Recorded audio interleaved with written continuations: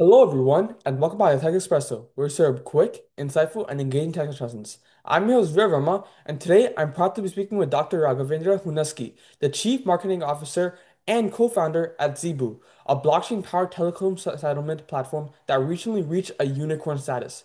Dr. Hunasgi is not only a marketing branding expert, but also a serial entrepreneur, investor, best-selling author, and a global thought leader. He's advised world leaders serves on multiple corporate brands, and helps scale companies that are transforming industries from the ground up. Today, we'll be diving into what it takes to scale a startup into a unicorn, how Zeebu is using blockchain to solve real-world business problems, and the key lesson and advice Dr. Hunasgi has for young, aspiring tech entrepreneurs. Let's get right to it.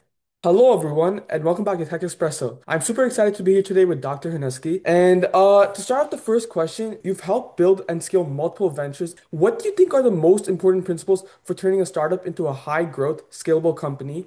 And what key decisions or mindsets made the biggest difference in your own journey? Beautiful. So first of all, thank you so much for having me on TekXpresso. I've been following all your episodes. You you are a rock star. You're doing phenomenal work there. So so good work. Keep it up. Um, and happy to be on your show. Um, so brilliant question. I think brilliant start of our conversation. I think uh, uh, every company, every entrepreneur who starts starts with an aspiration to build a unicorn, and and I think we were no different. We built uh, something with a similar ideology, um, and um, and and we started the journey, but. Uh, in no time, I think we ended up becoming a unicorn. So th- there are a few things that every entrepreneur should know. Um, number one is you know having the product early in the market is the is the key right? I mean i have seen most of the entrepreneurs fail where they take almost forever to design the product right? They want to perfection they, they, they want to perfect the product before it goes out and that kills a lot of time. Um, what i suggest most of the entrepreneurs today is um, you know take take the product build probably four or five most important and critical features um, which is called mvp the minimum viable product and then release it in the market. And once you have customers testing it, using it, and giving you feedback, then you improvise on it. So this will help people to, you know, go to market, uh, you know, much faster, much quicker, and realize some revenues. One of the key things that um, you know entrepreneurs today ignore is the importance of having you know real paying customers. Um, I mean, if I, I mean, right now we are also invest, and you know, I invest from my family office. We we run a small fund. And when we go out to invest in in startups the first thing we look at it is it pre-revenue or revenue stage? And any startup that is generating revenue is is probably the darling for any investor. So that's the first and the most important thing. Um, the next is you know what kind of team uh, you know you have on board right? You need committed set of spartans who are building this. You know it, it cannot be your startup cannot be a part-time me too gig. Um, so so it has to have a serious committed individuals with with good pedigree that will build a phenomenal product. The third and the most important thing is what space are they going after and what problem are they solving. If you are solving a problem that will not continue to exist five years from now then you should not be building your startup. So so these are some of the areas that we look at that we evaluate when we you know write a check or when we decide to partner with any startups or any entrepreneurs. Wow. Um, yeah, that really resonates with me. And just to like bring kind of another perspective, I feel like uh the idea of growth, like it just isn't about like throwing money or like people like at a problem. It's about like uh intentionality. Today, like a lot of young founders, especially in tech, get caught up in building uh like really fast. Like they want no patience. They want to like immediately get like success. But like sometimes they don't really understand why they're actually building it or who they're really like trying to do it for. And I think hearing uh that discipline mindset and like long-term focus is what like plays a role in uh, a journey that can like help reframe people like to think about growth. It's just like about the process uh grounded in vision and execution. So yeah, so it's like about like just like having a clear goal in mind and just staying towards it. And uh this will help leading to my this will help lead well into my next question, which is about uh, Zeebu.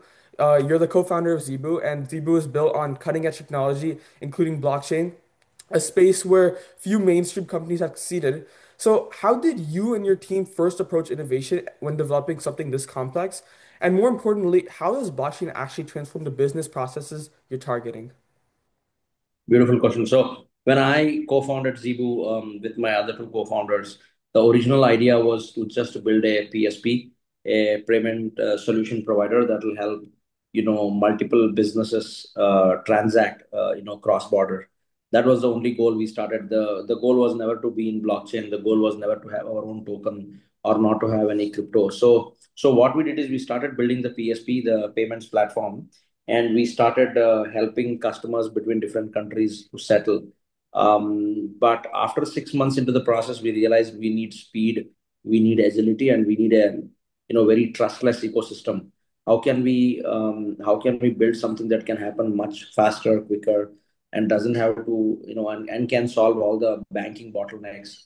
And can also happen much faster and can scale across multiple countries. Um, and hence for all of this we had to rely on blockchain technology and uh, that's how we slowly pivoted from being a psp to being a psp on blockchain and um, and you won't believe the scale was phenomenal from the time we embarked on using blockchain technology. I think we started with uh, hundred thousand dollars in transaction in the first month, uh, going to one point six billion in in in in a year. So and this was only possible because we were using blockchain, we were using crypto, and and hence you know it kind of gave us that extra additional boost to grow. And today, when you look back in three years, we have processed about $9.3 billion on the chain. Um, and uh, and we and I feel we're just getting started.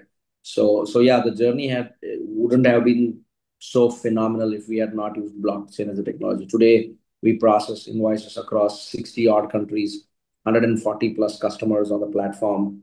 And and I mean, probably we are the only or one of those few businesses who has put customers on waitlist. We have about 109 customers who are in the waitlist who want to use the platform, and we are telling them slow down. We you know we we are not open to take so much business right now. Um, I think we got this edge because of that, and and probably it would not have been a unicorn if if not for blockchain. Wow, um, that's actually really wonderful and really inspiring. Like, it's crazy to think how like how blockchain came in and just basically changed everything, and it makes it seem as if like blockchain, like I mean it is, but like it makes it makes blockchain feel a lot more real and applicable. And Right. like I think like a lot of people today my age are curious about blockchain, but there's like this barrier like uh where block where it makes it feel as if blockchain is too abstract. And um hearing how Zeebu is using to like solve a concrete like large scale industry problems shows like how the tech isn't just like theoretical, it's already there and it's infra infrastructure. And it also shifts the conversation from like crypto to trust, um, transparency and like efficiency, which I think is the future of this enterprise tech.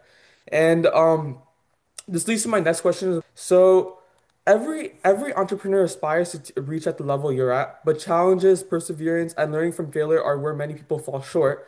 So most of my audiences are young uh, students interested in technology. What is your advice to them given the dynamic nature of this industry? Um, see, I, I think be it blockchain, be it crypto, be it AI, be it any industry, right? I think um, what it takes to win, what it takes to scale and grow is is, is a lionheart entrepreneur, right? And um, it would be wrong if it would be wrong for anybody to say, you know, uh, you know, we have failed or we have tried or made multiple attempts, right? Nothing happens overnight. Um, uh, when I did my first startup, for me to raise my first check from the investor to get the first check, I think we knocked on about 130 doors. We reached out to 130 investors. I think after 2030, my co-founders, my team, almost everybody said that maybe we will not be able to raise money because they said if there are so many rejections, you know, then we probably will not uh, be able to make it.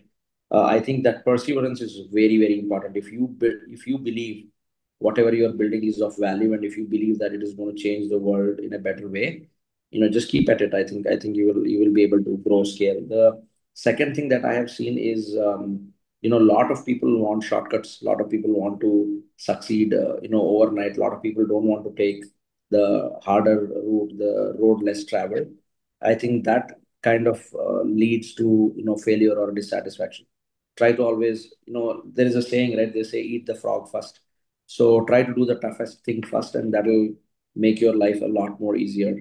Um, third and most important thing is the kind of people you hang out with, you network with, the schools you go, the places you study. Um, all of this matters because you are. I mean, uh, this is a very cliche thing now, but your your network is your net worth.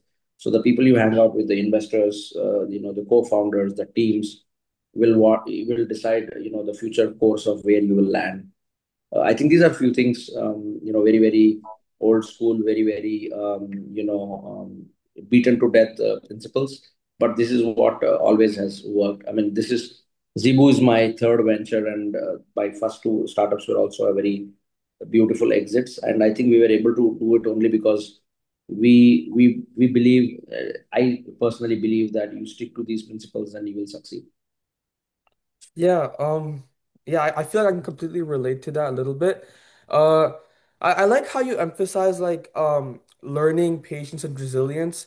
Like I think like a lot of uh, students like when like myself included as well like tend to over focus on like speed or like um visibility early on. We want the success immediately, but forget that like setbacks and like failure is part of the success and part of the process.